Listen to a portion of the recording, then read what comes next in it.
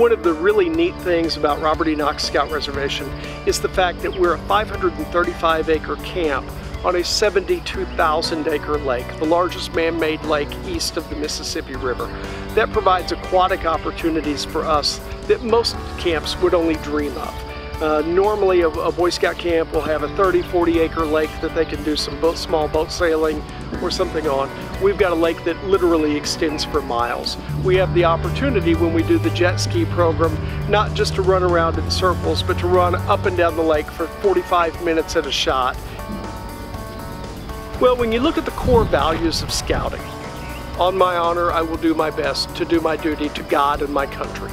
Scouting believes in patriotism. Scouting believes in what's made America great. That is the very fabric of scouting.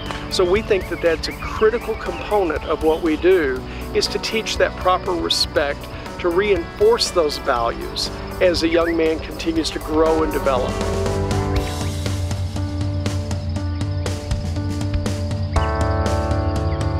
A lot of the kids like the like the view course from the amphitheater, the way everything looks, the way the camp works, the food, the classes, the program, the activities, everything.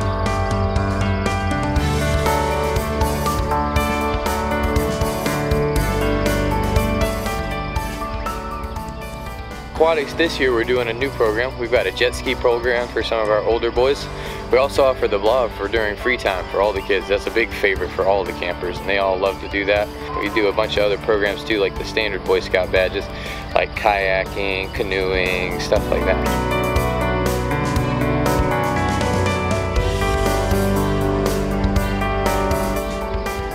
Well, you know, the really cool thing about the Iron Scout is that not only does it work through a scout is physically fit, it's a fun challenge. And because Augusta is home to the half Ironman, we took a play on the Ironman triathlon to create the Iron Scout.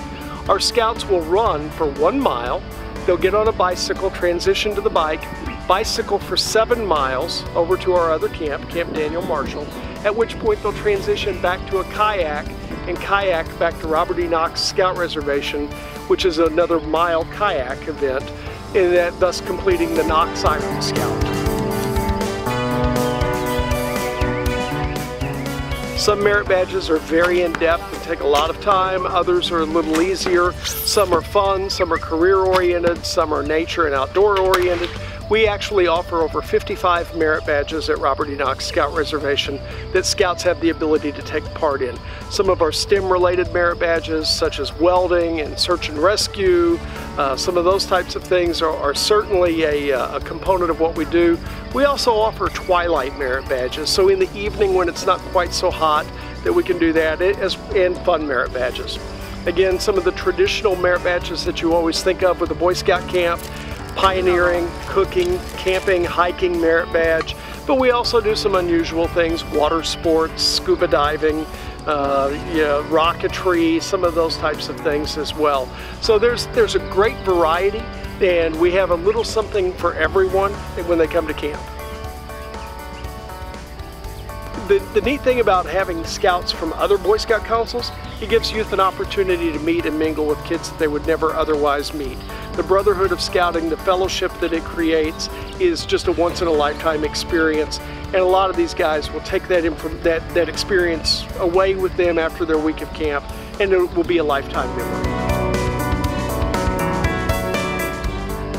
This is the second year we've offered Golf Merit Badge. Uh, because of proximity of Rocky Branch Golf Course, only being about four miles from camp, they, uh, the folks who uh, run the course were very kind to us. They were able to work with us. And we teach most of the Golf Merit Badge at camp during the week. And then they come to play golf on the course to complete the requirements for the Merit Badge at the end of the week. When you go to Boy Scout camp, it's an experience. It's designed to take you out of your comfort zone. It's to disconnect you from the Nintendo and the Xbox. It's an opportunity for you to do things that you may not otherwise do.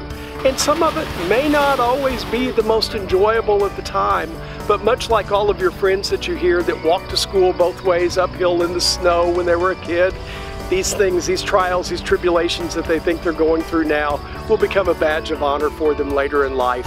And it's, it's really a neat opportunity. I've had so many parents over my career in scouting tell me how much their son has grown in just that one week that he's gone to camp, that they can physically see it in, in the way they behave, the way they carry themselves, the things that they do. And that, that truly is what scouting is all about, is to helping young people to prepare, to prepare them to achieve their, their potential in life.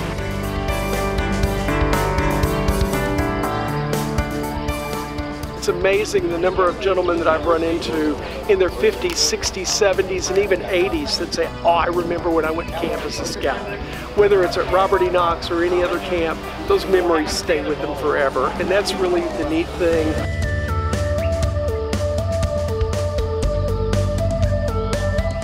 Knox is a great camp and we'd love to have anybody and everybody who wants to come out here and we promise you that you'll have a great time if you do.